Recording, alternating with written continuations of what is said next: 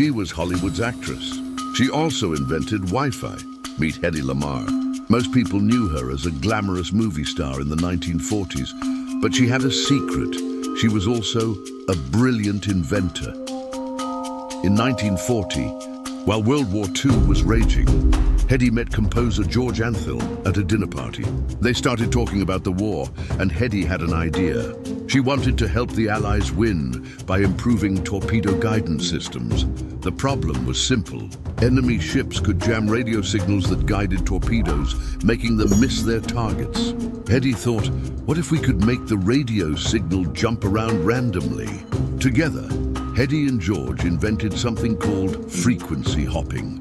Their system would make radio signals jump from one frequency to another in a secret pattern. Both the sender and receiver would know the pattern, but enemies couldn't follow it. On August 11, 1942, they received US patent number 2292-387 for their secret communication system. Hedy was listed as the lead inventor.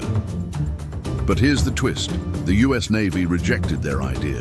They thought it was too complicated and told Hedy to help the war effort by selling war bonds instead.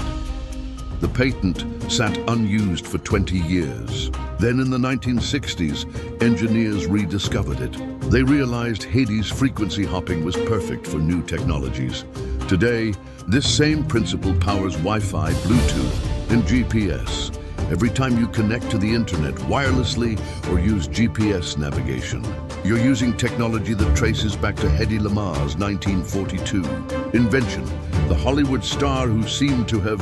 It all actually gave us something even more valuable, the foundation of our wireless world.